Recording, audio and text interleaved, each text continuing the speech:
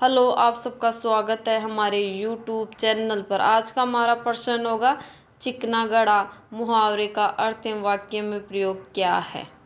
उत्तर होगा चिकना गड़ा बेशरम प्रयोग। तुम व्यंग्यात्मक वचनों से उसे सही मार्ग पर लाना चाहते हो, पर यह प्रयास व्यर्थ ही सिद्ध हो गया क्योंकि यह तो चिकना गड़ा है।